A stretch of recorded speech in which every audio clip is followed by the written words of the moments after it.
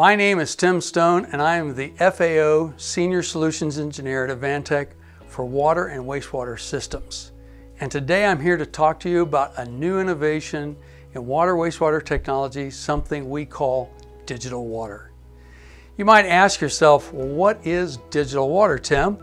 Well, digital water is actually a way to provide an end-to-end solution for monitoring of water systems to preemptively prioritize and respond to break fix, maintenance issues, and also reducing cost and service issues within the plant, providing real-time data to the folks that need it in order to make informed decisions on such things as consumption, utilization patterns, and how best to service the community, and also to supply the data to comply with regulatory and policy regulations within a water company.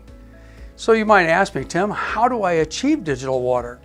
Well, the way to achieve digital water is to converge the operational technology world, thus the pumps and the things that you use inside the plant to actually do water treatment, and also the IT so you can get the data to the correct people at the correct time.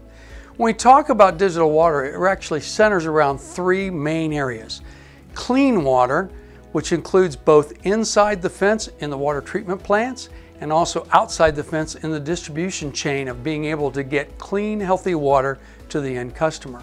Secondly, it talks about stormwater and stormwater control. This would include retention ponds, dam control, and actually handling water in the event of flooding and emergencies. And the third area is dealing with septic and sanitary systems, a way to make sure that water is collected, purified, and returned to the watershed. Because we know that water is one of the most renewable resources on the planet. So who would we like to talk to? We'd like to talk to municipalities. We'd like to talk to small towns, large towns, and all towns in between.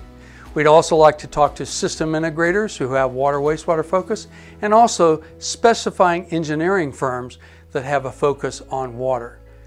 So with that said, how do I find out about digital water?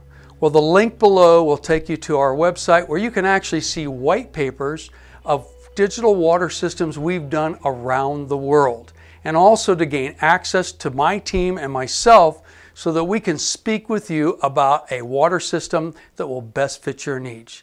I'd like to thank you for seeing this video today and I look forward to working with you in the future.